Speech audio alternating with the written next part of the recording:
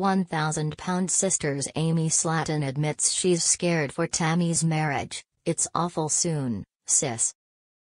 Family friction? 1,000 Pound Sisters star Amy Slaton admitted that she felt unsure about her sister Tammy Slaton's marriage to husband Caleb Willingham. In a clip from the upcoming Tuesday, March 14, episode obtained, Tammy, 36, asked Amy, 35, if she would be her maid of honor at her wedding during a FaceTime call. I was your maid of honor and wedding planner, whatever you call it, and I wanted to know if you would repay the favor and do my wedding? Be my maid of honor, most of all, Tammy asked her younger sister. Although she ultimately agreed to do the job, Amy responded by telling her sister, It's awful soon, sis. I'm ready to do this for you, I am.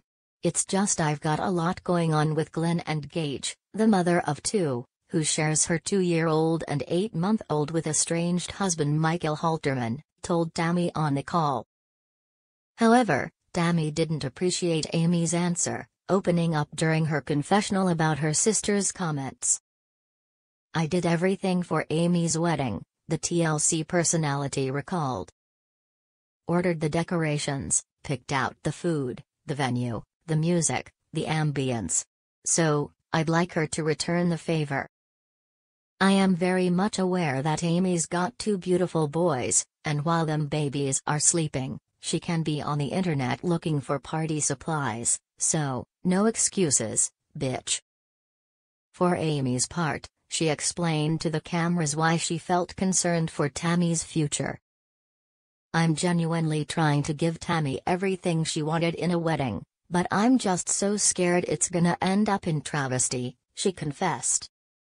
What if you end up going home and figuring out you just didn't want to be married after all? Once they get home and reality sets in, who knows what'll happen? Tammy met Caleb in November 2021 at the Ohio Rehabilitation Facility they both lived in for their obesity and health issues. Less than one year later, they got engaged in October 2022, tying the knot the following month. Despite her comments, Amy expressed a more positive opinion on her new brother-in-law in February 2023 during an interview. I'm just happy to have another brother. The reality TV star told the outlet that month. When she first told me she was dating Caleb, I was like, that's good. Maybe they can team up and motivate each other in a way we couldn't motivate her as a family because they are in similar situations. As for Amy, the TLC personality reportedly split from her husband earlier this year. However, she has not publicly commented on the reports. Tammy Slaton home with nephews, see beautiful reunion. This year, 1,000 Pound Sisters fans have seen Tammy Slaton really reach a turning point in her life.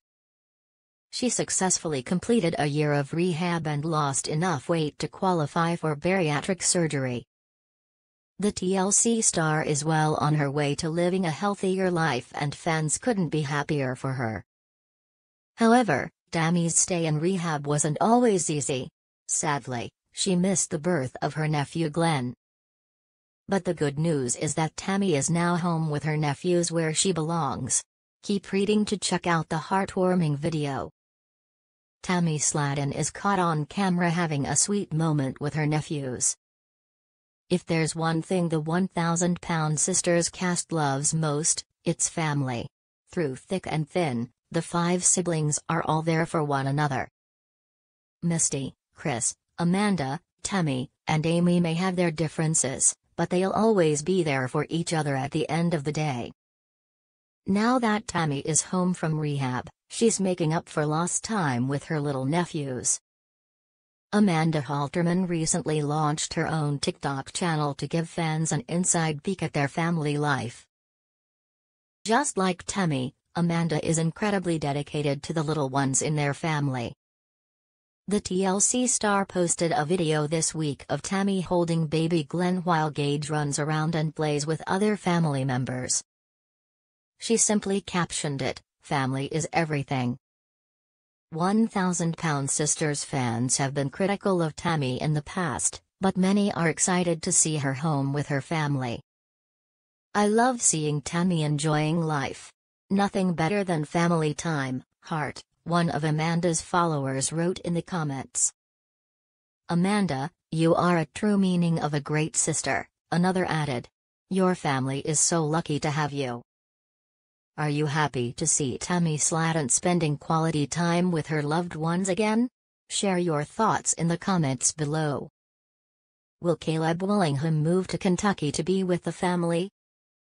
In this week's episode, Amy will express her concerns about Tammy's engagement.